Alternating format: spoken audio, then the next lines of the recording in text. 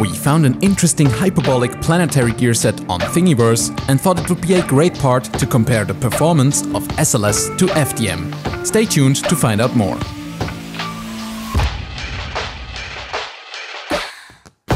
First, we 3D printed the gear components using the most common SLS material, PA12, on our Sintratec S2 and assembled them with the necessary screws.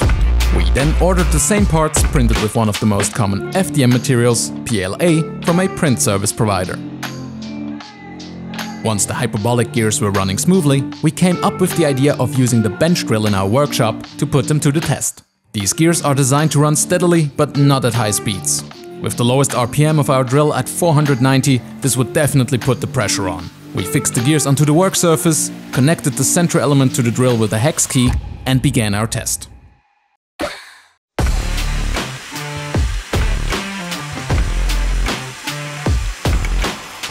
After just about 6 seconds, the FDM part stopped working, with the drill only spinning loosely.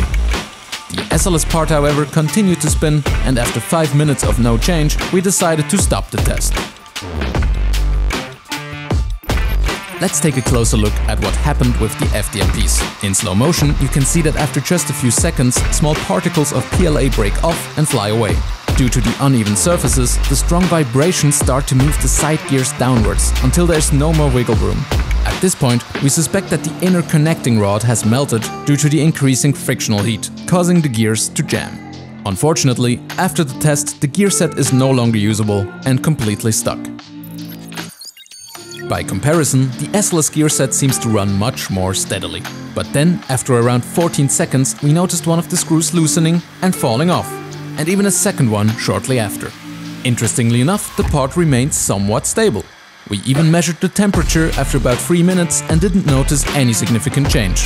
After 5 minutes, the gear set was still running perfectly fine with no visible signs of wear.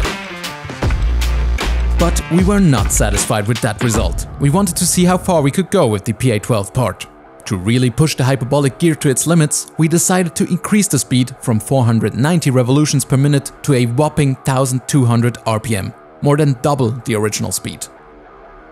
With proper safety measures, we started the drill again. After around 6 seconds, the forces were too much for the gear to handle and it broke. Let's rewind and look at what happened again in slow motion.